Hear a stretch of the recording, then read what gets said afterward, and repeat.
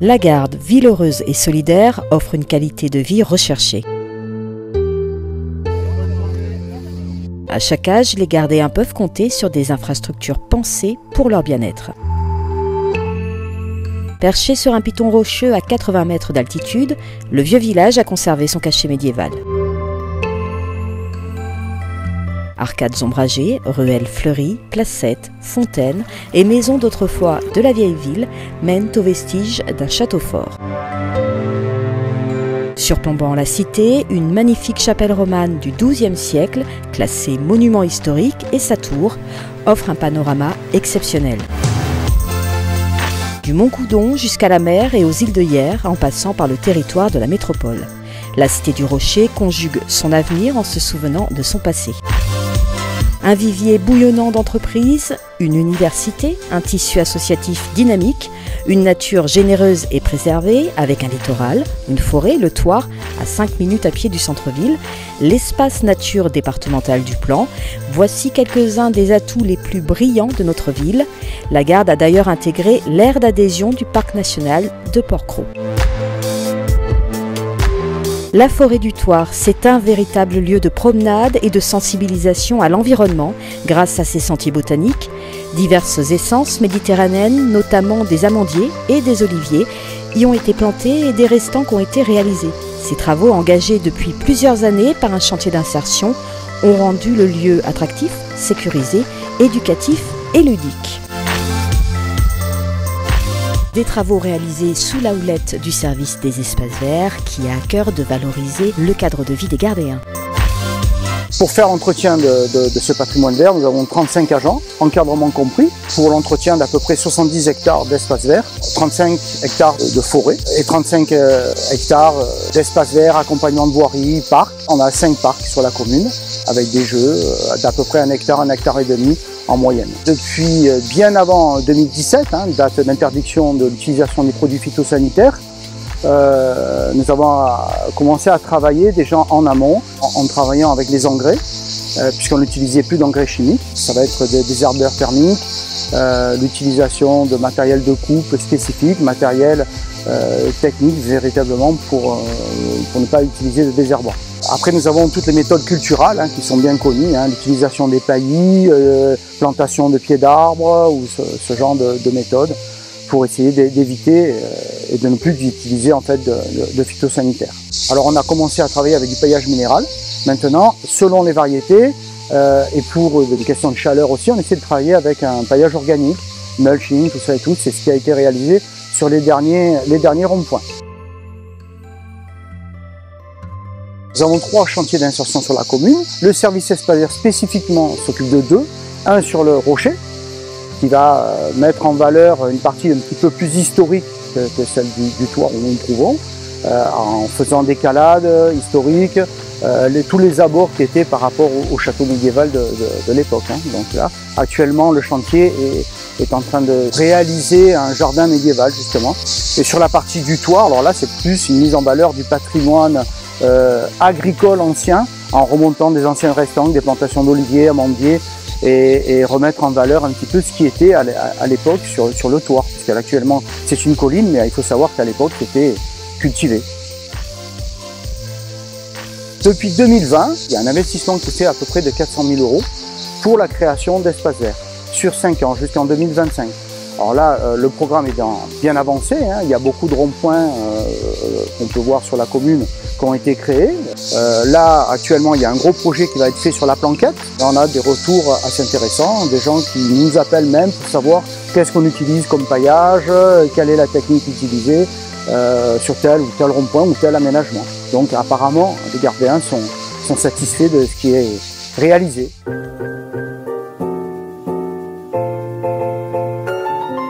La préservation de l'environnement, une préoccupation majeure. Concertation et dynamisme pour sauvegarder les milieux naturels, avec notamment la valorisation et la protection du plan de la Garde.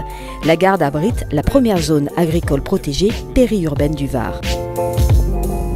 La Garde, c'est aussi de nombreux labels nationaux, parmi lesquels Label Ville Nature de Libellule, Label Apicité deux abeilles, démarche remarquable depuis 2020.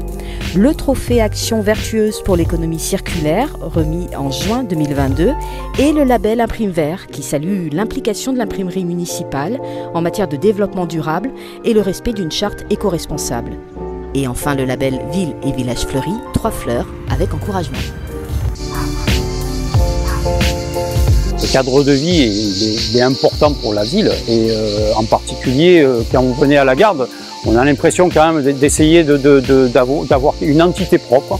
le fleurissement se fait en deux étapes. Nous avons un fleurissement de printemps avec des plantes annuelles et un fleurissement d'automne-hiver avec des plantes bisannuelles.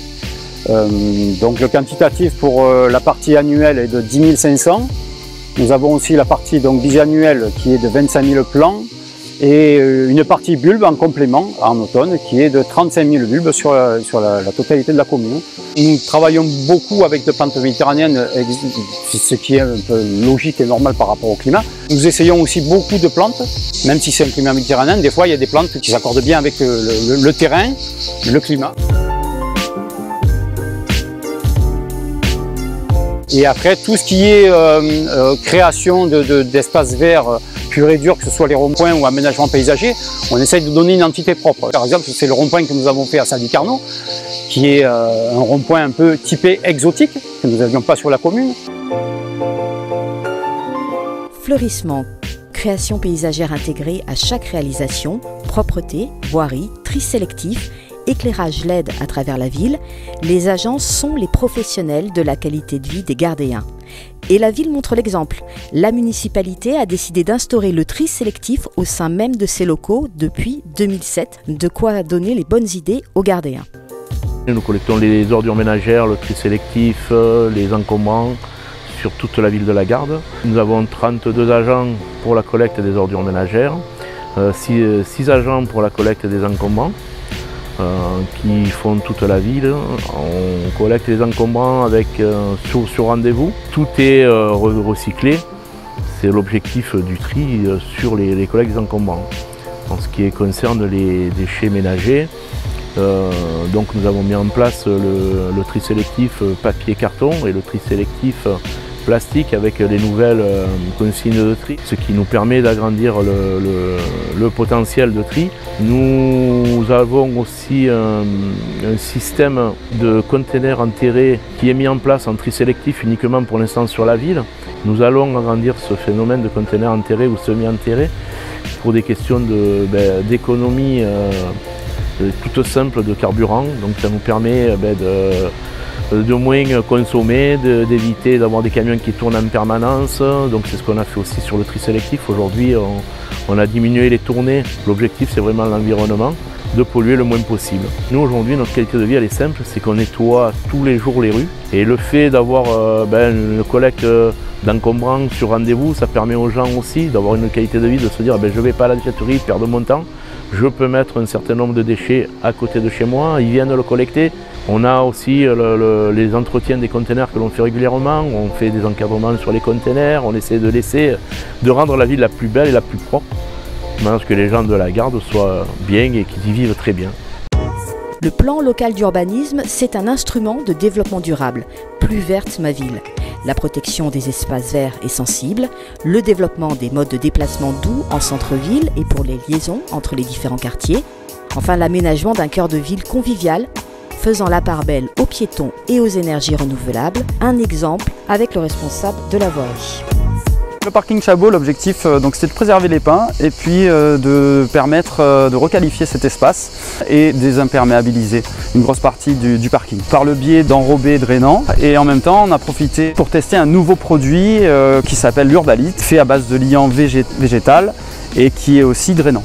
On est 57 agents, on a 33 agents pour les espaces verts, 17 agents pour la voirie, la signalisation, le mobilier urbain, l'éclairage public et 3 agents pour le bureau d'études et tout ça ben, c'est euh, encadré par euh, deux responsables et un adjoint. Nos missions ben, c'est gérer tout ce qui est le domaine public euh, routier, c'est-à-dire de la chaussée, les trottoirs, les accotements, le mobilier urbain, l'éclairage public, la signalisation verticale, horizontale, la signalisation lumineuse tricolore et euh, bah, les espaces verts. On a nos équipes euh, voilà, qui interviennent au quotidien pour améliorer euh, bah, la vie de tous les gardéens. C'est une vraie volonté marquée de la ville et d'évoluer. C'est passer un maximum d'éclairage en LED pour les économies d'énergie bien évidemment. On éclaire mieux, on consomme moins, donc on répond aux critères environnementaux on travaille aussi en étroite collaboration avec euh, la ville sur le projet notamment de requalification du centre-ville, euh, avec le syndicat des goutiers sur les bassins de rétention qui vont être créés au niveau du, des complexes, du complexe sportif et du tir à l'arc et, euh, amélioration pour les cyclistes aussi. On va poser des consignes à vélo,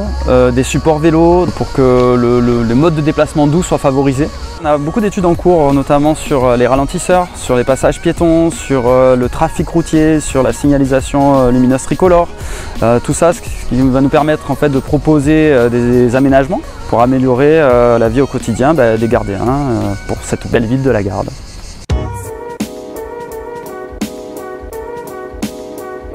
Et si nous partions à la découverte des richesses de la mer depuis le littoral gardéen? Pour découvrir les profondeurs et les merveilles de la Méditerranée, sa faune et sa flore grâce à un sentier aménagé et sécurisé, le tout à Lance-Magou. Le parcours représente une balade originale et récréative. Cet espace pédagogique est ouvert aux scolaires et aux passionnés de la mer. La ville peut alors compter sur son partenariat avec le Parc national de Porquerolles et dès la belle saison, les associations partenaires viennent compter la mer aux plus grands comme aux plus petits. Enfin, la garde mise sur l'implication de chacun pour le bonheur de tous, grâce notamment au concours communal Maison Fleurie. Chaque année, les gardéens s'associent aux efforts d'embellissement de la ville en fleurissant jardins, fenêtres et balcons. La municipalité encourage et récompense les artisans d'une ville plus fleurie et plus verte par l'organisation de ce fameux concours. La garde Ville Verte fait pousser les belles idées.